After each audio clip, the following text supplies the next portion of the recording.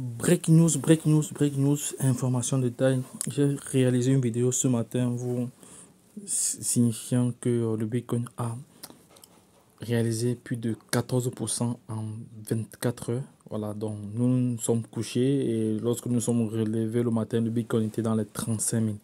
Et je viens ici vous signifier une fois de plus que le Bitcoin a bondi au plus haut niveau depuis 2022. Voilà, donc euh, tout ça à cause de la fameuse proposition voilà, de créer des ETF dans la sphère crypto, de créer des ETF de Bitcoin. Donc toi qui regardes cette vidéo, si ça t'intéresse, voilà, vas-y, fais tes recherches et commence à te préparer pour le prochain bull run. Lorsque je l'ai dit une fois de plus, c'était juste une tranche d'information, un shot vidéo, voilà, juste pour partager cette expertise avec vous. Donc, allez-y faire vos propres recherches et revenez-moi tout tantôt, me dit en commentaire. Bye bye, c'est tout. Abonnez-vous, likez, partagez. Bye bye.